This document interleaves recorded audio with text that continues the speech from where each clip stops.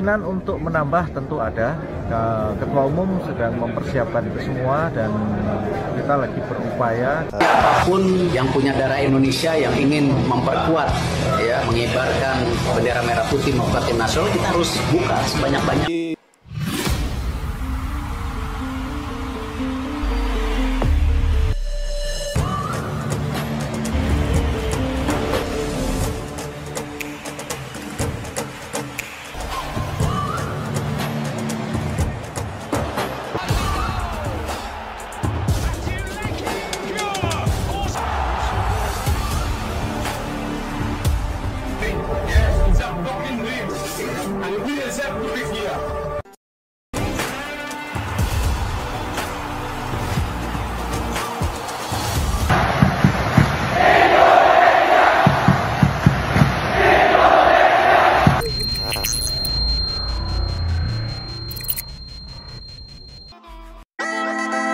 PSSI, Yunus Nusi, mengatakan proses pendekatan yang dilakukan Federasi Sepak Bola Indonesia untuk mendatangkan pemain-pemain keturunan baru untuk membela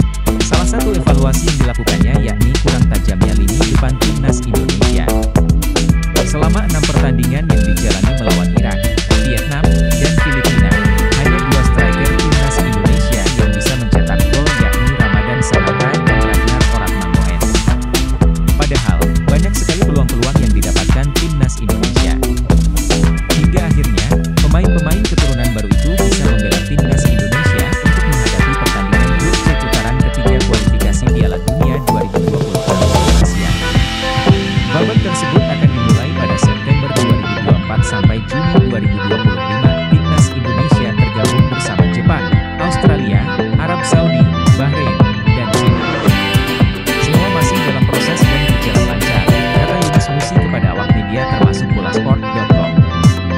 Yunus mengakui bahwa PSSI sangat berharap pemain-pemain tersebut bisa membela timnas Indonesia, sebab lawan-lawan yang dihadapi tim Merah Putih akan sangat berat.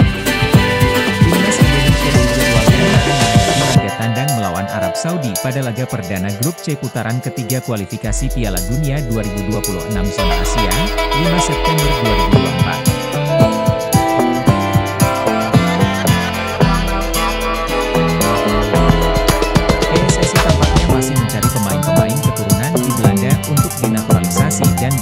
Timnas Indonesia.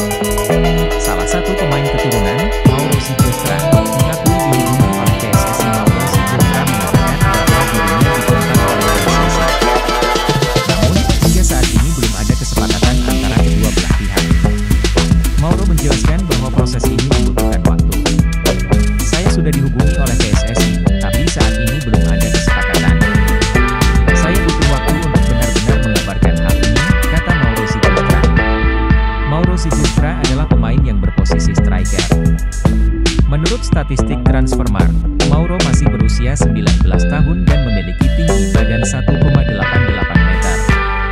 Selain berperan sebagai striker tengah, Mauro juga bisa dimainkan di posisi gelandang serang. Jika melihat usianya, Mauro bisa saja diproyeksikan untuk timnas U20, timnas U23 atau timnas senior. Saat ini, Mauro Sigestra merupakan penggawa tim Belanda, FC Volendam U21. Ia berkompetisi di U21 Divisi 1 Spring dan U21 Divisi 2 Fall. Pada musim 2023-24,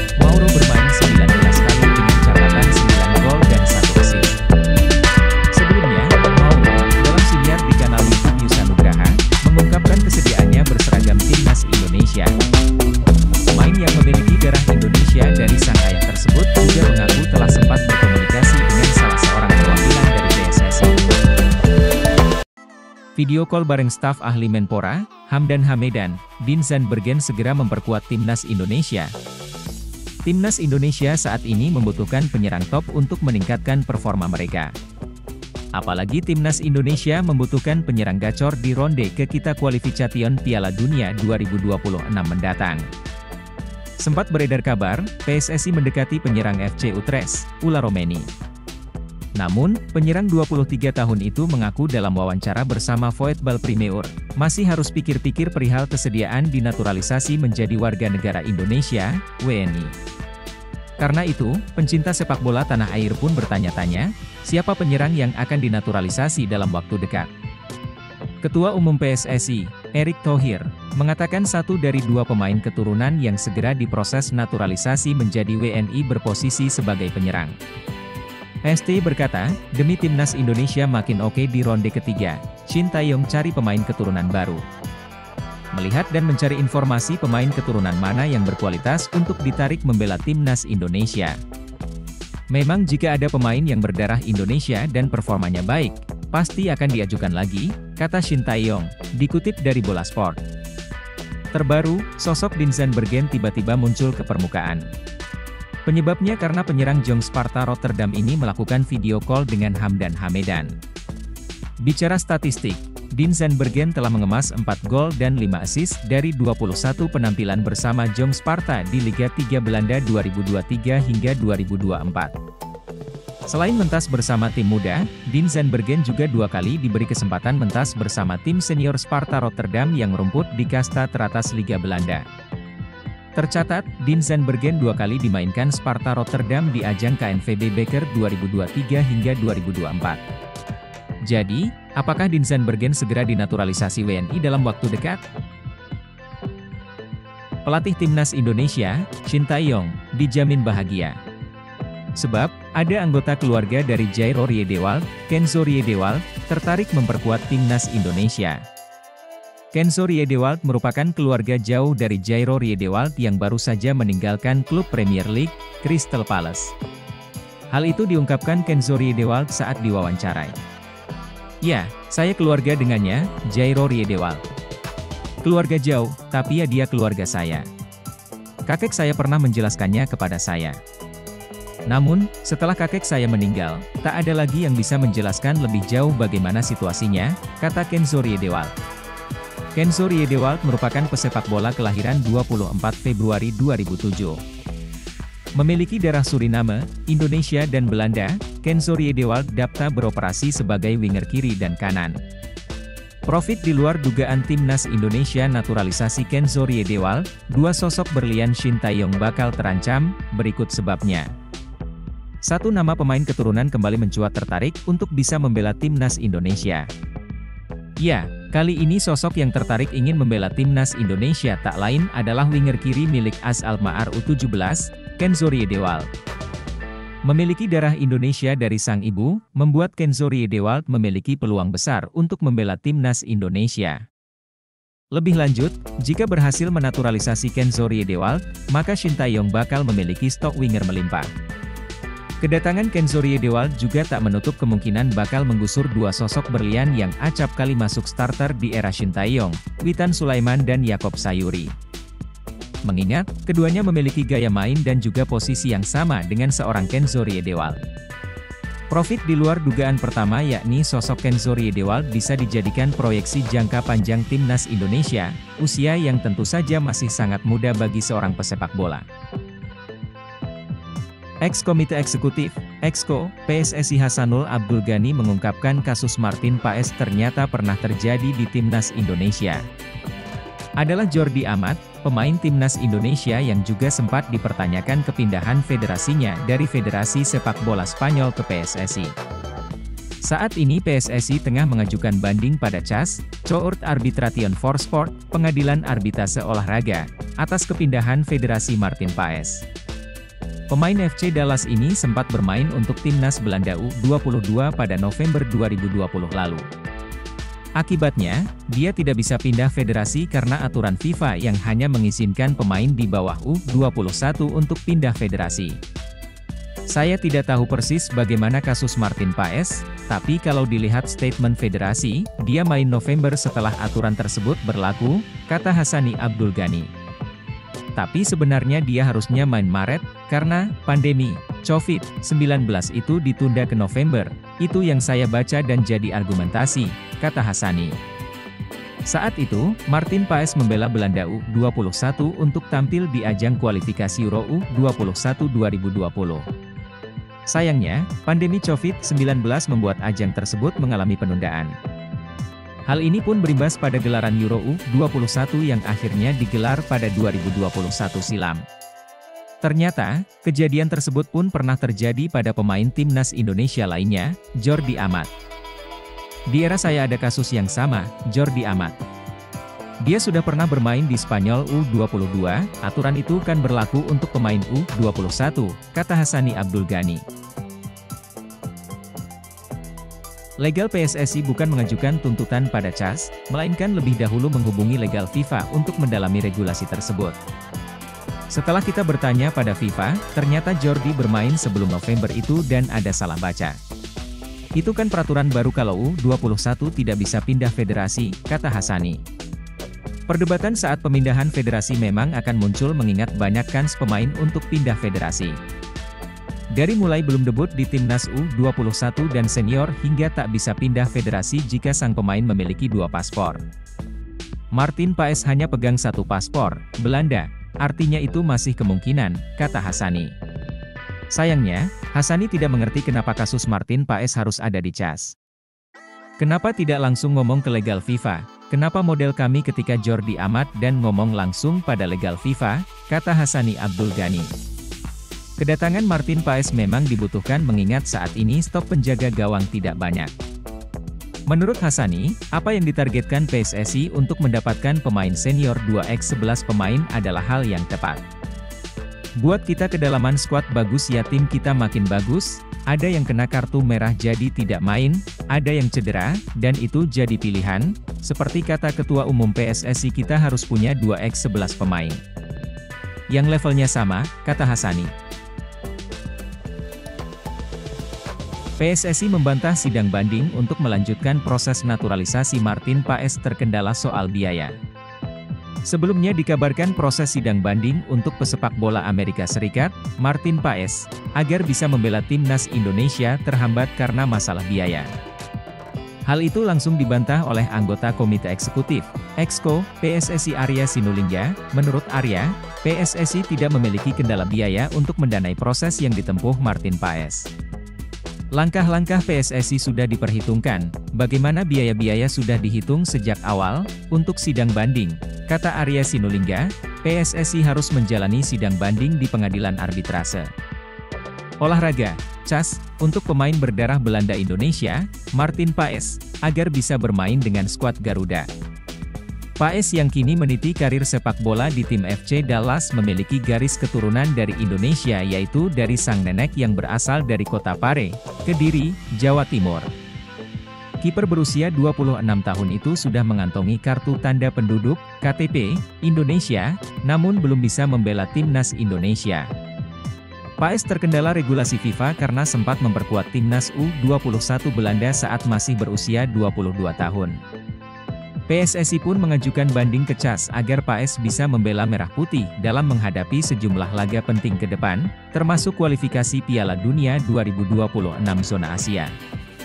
Perihal rumor terkait biaya untuk kebutuhan sidang banding yang mencapai puluhan miliar rupiah, Arya mengatakan PSSI sudah menyiapkan biaya. Kalau terbentur biaya, sejak awal kami sudah tahu masalahnya tidak mungkin, Martin Paes, dimasukkan jadi WNI, kata Arya, coba pakai logika sederhana. Kalau masalah biaya, kami pasti tidak jadikan WNI. Kami tak hitung soal biaya karena tak masalah, Arya menegaskan. Lebih lanjut ia meminta agar publik sabar dan tidak berspekulasi terkait proses naturalisasi Martin Paes. Dia meminta masyarakat menunggu proses yang dijalani tim PSSI yang diisi oleh orang-orang yang ahli di bidangnya. Tunggu saja, serahkan pada ahlinya di tim Pak Erik, Ketua PSSI Erik Thohir. Bukan saya bilang sudah berhasil, kita belum tahu, ujar dia. Tapi sudah terbukti, kerja, tim bagian ini ada yang punya kemampuan masing-masing, dia menuturkan. Pemain Vitesse Arnhem Miliano Jonathan siap perkuat timnas Indonesia setelah bertemu staf ahli Kemenpora. Pemain Vitesse Arnhem keturunan Indonesia, Miliano Jonathan, sedang berada di Indonesia. Meski tajuknya liburan ke Indonesia, adakah peluang winger 20 tahun ini berganti paspor menjadi Indonesia? Staf ahli Kemenpora, Hamdan Hamedan, bertemu dengan Miliano Jonathans dan keluarga di Jakarta. Hamdan Hamedan sendiri dikenal sebagai sosok yang dipercaya Kemenpora mengurusi pemain diaspora seperti Miliano Jonathans, senang bertemu Anda lagi Mr. Jonathans dan keluarga. Nikmati liburan Anda Miliano Jonathans, tulis Hamdan Hamedan di stories Instagramnya, pemain berdarah Maluku ini bukanlah pesepak bola sembarangan. Di usianya yang masih 16 tahun pada 2020, Miliano Jonathan sudah mendapatkan kontrak profesional dari klub Eredivisie, Vitesse Arnhem. Sejak tiga musim terakhir, pemain yang biasa mentas sebagai winger kanan dan gelandang serang ini selalu bermain di Eredivisie. Terbaru atau di musim 2023 hingga 2024, Miliano Jonathan main sebanyak enam kali, musim terbaiknya tersaji pada 2022 hingga 2023. Saat itu, Miliano Jonathans mencatatkan 12 kali laga bersama skuad Vitesse. Jika ditotal dalam tiga musim terakhir, Miliano Jonathans mengemas 19 laga Eredivisie.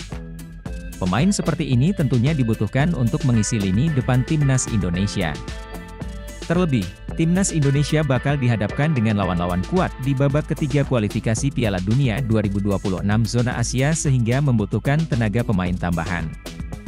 Dalam pola 3-4-3 racikan Shin Taeyong, Miliano Jonathans dapat membentuk trio mematikan bersama Ragnar Oratmangoen dan Rafael Struik. Lini depan timnas Indonesia semakin ganas jika berhasil mendapatkan jasa penyerang FC Utrecht, Ula Romeni.